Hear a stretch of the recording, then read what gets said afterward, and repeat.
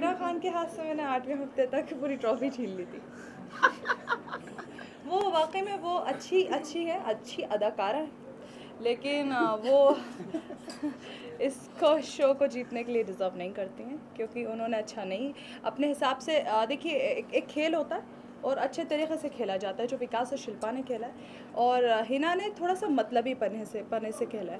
तो वो सबको दिखता था और वो वहाँ पर इतने कैमराज रहते हैं कि आप कितना भी अपनी अदाकारा दिखा कलाकारी दिखा दें वो कैमरे पे आ जाती है कहीं ना कहीं चाहे वो रोना हो चाहे वो हंसना हो। जैसे मुझे हमेशा दिखता था कि वो सलमान के सामने अच्छा नहीं लगा। वीकेंड के बाद पे सो व्हाट जैसे मुझसे क्यों बुरा लगेगा? जैसे वीकेंड के बाद पे जैसे सलमान कुछ उनसे सवाल पूछते थे तो वो बेवजह हंसती थी हाँ हाँ हाँ।